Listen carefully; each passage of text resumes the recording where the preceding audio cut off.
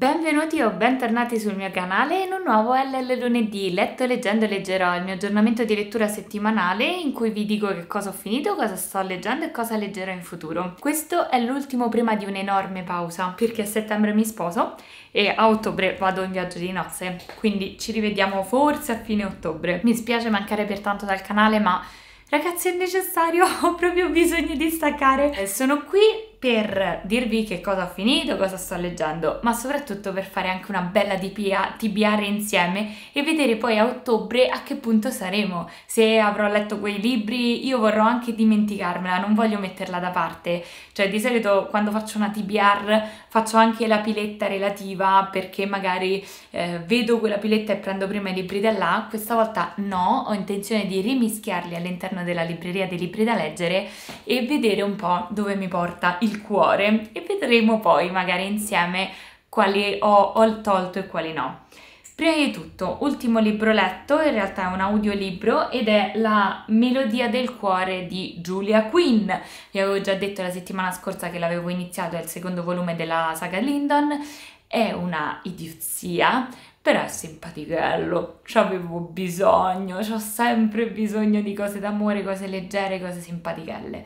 Quindi se volete un'altra roba alla Bridgerton, scritta ovviamente peggio rispetto alla serie, può essere un'idea carina, anche perché alla fine parla sempre di un'altra ragazza che è figlia di un vicario, di un altro conte e di una sorta di matrimonio di convenienza, perché entrambi hanno degli interessi, lei vuole andare via di casa, lui vuole eh, mantenere la propria mm, eredità e solo sposandosi potrà mantenerla e quindi decidono di sposarsi di comune accordo, ma ovviamente ci sono varie problematiche di quando due persone non si conoscono si sposano. Simpatico, niente di trascendentale però. Poi veniamo leggendo, iniziato il coccodrillo di Dostoevsky e mi ha fatta ammazzare dalle risate. Ho letto soltanto le prime 20 pagine, ecco neanche 18 pagine. Una delle parti più simpatiche che per ora mi sono piaciute è la nota numero 1 in questo volumetto qua, che equivale al prologo, perché eh, nel prologo la rivista mette le mani avanti dicendo sì, questo articolo di un uomo che viene divorato da un, da un, coccodrillo intero e che vivrà all'interno del coccodrillo dicono che sia vera, però siamo andati allo zoo e hanno detto che non è mai capitato. Abbiamo controllato le fonti dell'autore e non esistono. Abbiamo fatto quest'altro e non, è, non ci sono prove. Quindi vi, vi dico qual è la loro la, la, la scelta definitiva. Giunti a questo punto non ci restava che una sola cosa da fare. Credere a tutto e decidere, anche se controvoglia, ma comunque secondo coscienza, che lo sconosciuto che ci aveva trasmesso il manoscritto non poteva mentire e che dunque tutto quello che ci aveva consegnato era vero. Questo mi ha fatto pensare a Kundera a quello che vi raccontavo l'altra volta, ossia al fatto che i russi non hanno avuto l'illuminismo, diciamo, eh, non hanno avuto la rivoluzione francese eh, come, mh, mm, come dire, eh, elogio della ragione sull'emotività e quindi è per quello che la maggior parte dei libri russi si basano sull'irrazionale. Ok, mi hai dato tutte le prove possibili e immaginabili che questa cosa non sia esistita, ergo ci credo. È super interessante. Da che ho letto quel libro di Conrad che è Jacques il suo padrone, in cui lui ci raccontava eh, della, di quando i russi sono arrivati a occupare mm, la Repubblica Ceca, ci ripenso spesso solo quel pezzetto di prologo perché mi ha aperto un mondo, perché mi ha fatto comprendere per quale motivo io amo i libri russi, perché sono imprevedibili ed è anche il loro umorismo ad essere imprevedibile. Per ora mi sta piacendo tantissimo, poi vediamo come si conclude concluderà, come proseguirà. Eh, il tono è molto simpatico, il libro è davvero breve, ci sono tantissime note e c'è anche una postfazione. Quindi spero di finirlo e ricordarmelo per quando ci rincontreremo, ma penso che prenderò tutti gli appunti del caso per non dimenticarmi eh, quello che mi sarà piaciuto o meno. È il momento della TBR. Il primo libro che vi mostro è Boy di Roald Dahl perché l'ho preso alla libreria Shakespeare Company l'anno scorso, ma essendo in inglese mi sono sempre fermata dal leggerlo.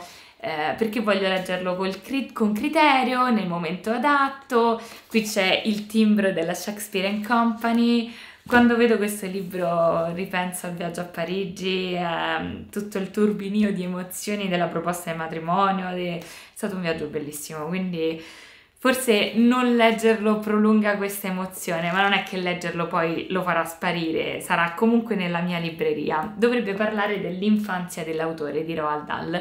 Mi hanno anche detto che è bellissimo, quindi non vedo l'ora di leggerlo sperando di capire per bene l'inglese che contiene. Poi io leggo sempre Elif Shafak e ho preso Il Palazzo delle Pulci un giorno al libraccio, quindi banalmente mi piace l'autrice. Mi sembra di averlo preso a più libri più liberi, mi pare. Comunque ho Crono Rifugio di Gospodinov, questo dovrebbe essere un libro prevalentemente sulla nostalgia, chi ha visto Inside Out 2 sa.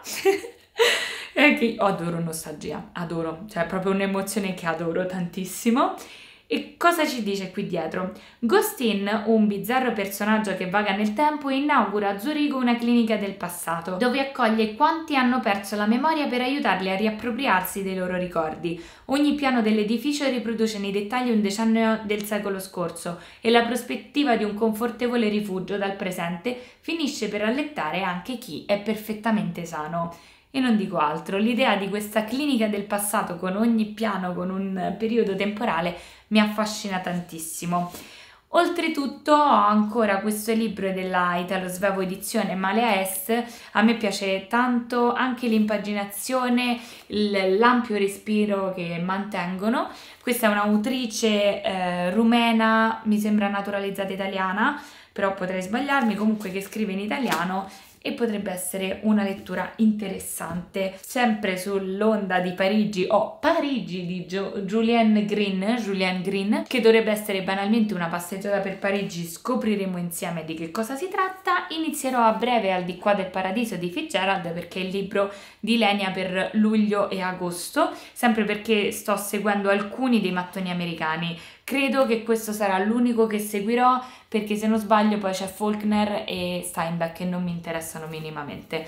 Quindi non vedo l'ora di rituffarmi in Fitzgerald perché alla fin fine io leggo sempre un libro suo all'anno anche di più. E come leggo sempre anche un libro di Virginia Woolf con la stanza di Jacob di Virginia Woolf che mi ha regalato Giulietta al compleanno Uh, spero di rimmergermi in, uh, nella prosa della Wolf che io adoro da impazzire e oltretutto quando lo finirò potrò leggere il saggio che mi hanno regalato le mie amiche su Virginia Woolf, però volevo almeno togliermi tutti quelli che avevo in libreria. Ne ho tantissimi altri da leggere in realtà, ho anche Amanti e Regine che potrebbe essere super interessante, ho anche l'ultimo di Falcinelli. Il fatto è che sono saggi quelli che vorrei leggere in periodi in cui faccio gli LL lunedì, perché secondo me ci saranno tantissime chicche da raccontarvi e leggerli in periodi in cui io produco più video può portare tantissime altre curiosità in più da, da narrarvi. È solo per questo che li rimando. Poi in realtà se mi andrà di leggerli li leggerò, ma penso che sarà carino ditemi anche la vostra, leggerli appunto in periodi in cui ve ne posso parlare meglio. E poi ne ho parlato 600 miliardi di volte, ma prima o poi lo leggerò su V13 di Carrer. Sia mai che magari è arrivato il suo momento e mm, mi, mi intriga tanto perché il Bataclan è stato un enorme trauma per me e anche se non mi ha riguardato troppo da vicino, per, cioè, lo sapete, ve, ve, l'ho detto 90 volte anche soltanto in questo LL lunedì che Parigi è importante per me, quindi eh, quello ha reso Parigi un luogo non sicuro in cui andare, nonostante io volessi stare là sempre, già prima. Magari questo, questa inchiesta mi aiuterà ad analizzare meglio il trauma e, e a portarlo, cioè e, ad aiutarmi a guarire, non lo so. Comunque siamo stati a Parigi, il nostro albergo a Parigi era vicino al Bataclan e questo mi ha fatto effetto, ma non mi ha terrorizzata come lo ero all'epoca dell'attentato. Questa era la TBR, ditemi se avete voi una TBR, eh, ditemi se avete la mia stessa idea per quanto riguarda alcuni saggi belli cicciotti, se siete più contenti che io li legga in periodi in cui farò più video, eh, spero di non lo so, di chiacchierare con voi giù nei commenti e di continuare a farlo nei prossimi mesi. Saranno mesi importanti che però non vedo l'ora di vivere e soprattutto che il matrimonio passi perché sta diventando una tortura organizzarlo. ma ce la faremo. Io, io rendo tutto più difficile spesso, sono la, peggiore nemica di me stessa, tutte queste belle frasette un po' fatte ma anche molto vere. E niente, non mi resta che augurarvi buona lettura.